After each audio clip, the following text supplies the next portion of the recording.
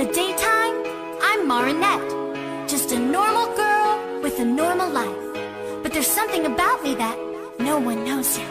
Cause I have a secret.